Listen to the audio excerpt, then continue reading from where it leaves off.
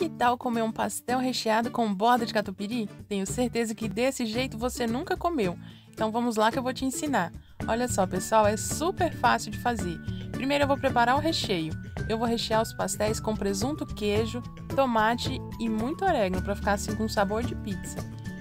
Então eu tô aqui picando presunto, vou ralar um pouco de queijo, um pouco não, bastante, porque eu gosto bem queijudo. Se você também gosta de muito queijo, já deixa o seu like no vídeo e comenta aqui embaixo para eu ficar sabendo. Depois de ralar, eu vou misturar tudo. Aqui está o queijo, vou colocar bastante presunto também e vou picar o tomate.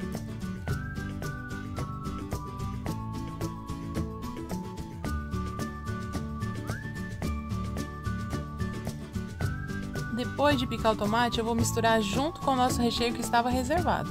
Então aqui eu tenho queijo, presunto, tomate, coloquei orégano e temperei com um pouquinho de sal. Agora com o recheio pronto, vamos começar a montar o nosso pastel. Eu vou fazer assim, vou colocar um pouquinho do recheio bem no centro e vou fechar como eu estou mostrando para vocês, bem rente ao recheio, para sobrar o espaço para a gente fazer a borda. A minha massa de pastel é pequena, se fosse maior teria ficado bem melhor.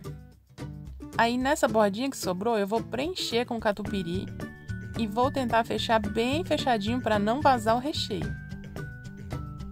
Ficou assim. Vou fazer mais uma vez para mostrar esse processo para vocês. Coloco o recheio. Primeiro fecha bem rente ao recheio. Você pode utilizar o garfo também para fazer isso como eu estou mostrando para vocês. E agora eu vou preencher esse espaço que ficou faltando aqui com o catupiry. Dessa forma, pessoal, o pastel fica bem recheado e fica uma delícia.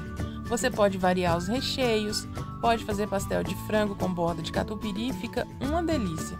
E agora eu vou fechar desse jeito com o garfo, para lacrar bem e não vazar o recheio na hora de fritar. Agora com o óleo bem quente, nós vamos começar a fritar os pastéis. Esse processo é bem rapidinho. Nesse primeiro pastel, meu óleo não estava muito quente. No próximo vai estar perfeito. Mas é bom que deixe o queijo bem derretido.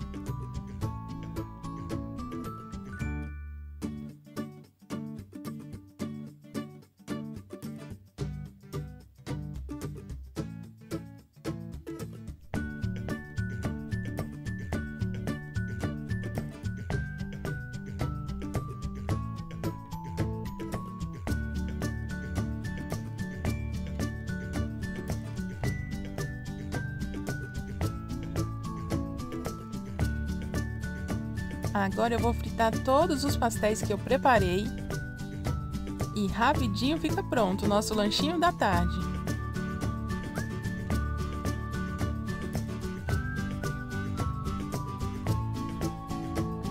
Olha só, pessoal, fica demais. Fica ali com o recheio e uma borda deliciosa. Esse aqui é só de queijo, então é um pastel de queijo com borda de catupiry. Fica uma delícia.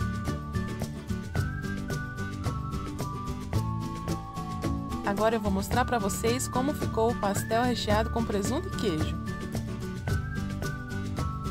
Olha só como a borda fica toda preenchida.